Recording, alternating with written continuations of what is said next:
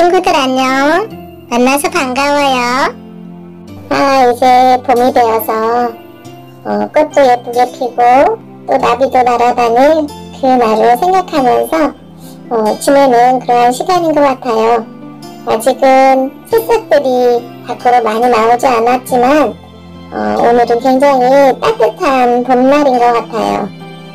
어, 우리 친구들도 또 어린이집에서 학교에서 또 즐거운 시간 잘 보내고 있지요.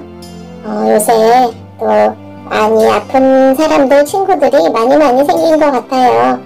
그렇지만 2022년에는 더 기쁘고 아름다운 일들이 더 많아졌으면 좋겠고 우리 친구들이나 마음이 언니나 더 기쁜 소식들 많이 많이 서로 나누었으면 좋겠다 하는 그러한 생각이 들어요.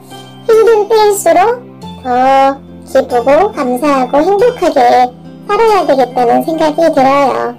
오늘도 우리 친구들 감사한 마음으로 살았으면 좋겠고 어, 내 옆에 계시는 부모님 또 친구들 또 많은 사람들에게 어, 예수님의 사랑을 더 많이 많이 나누어주는 그러한 시간이 됐으면 좋을 것 같아요. 오늘도 이렇게 예쁘고 아름다운 세상을 우리에게 만들어 주시고 또 어, 호흡할 수 있고 또 이렇게 어, 자유롭게 살아갈 수 있는 이런, 이런 시간들이 얼마나 행복한지 몰라요.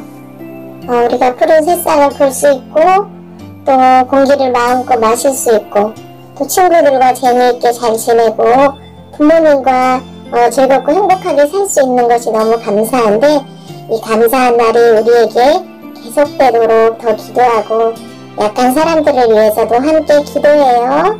그럼 다음에 또 만나요. 안녕.